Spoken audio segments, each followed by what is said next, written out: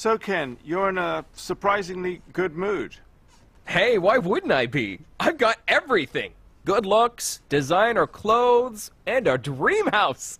Oh, and Barbie and I have a new film coming out. I'm winning! I guess you haven't heard about Barbie. She's not been caught skinny dipping on Venice Beach again, has she? No, Ken. This is far more serious. She's been wearing that pink velour tracksuit with the marabou trim. Where do you think Barbie was last weekend? Hmm? She was on a shoot in some rainforest? Shooting what, Ken? I don't know. She's always out on shoots. Look at these, Ken. Orangutans! Oh, they're so cute and fluffy And and... the tigers? Oh, that's not nice.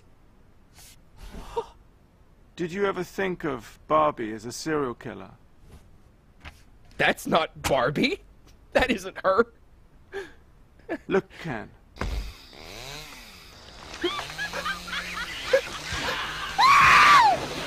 That's a lot of rainforest being hacked down just so she can wrap herself in cheaper packaging. But... Where do you think all that extra money came from for those chest waxes, Ken? Oh, it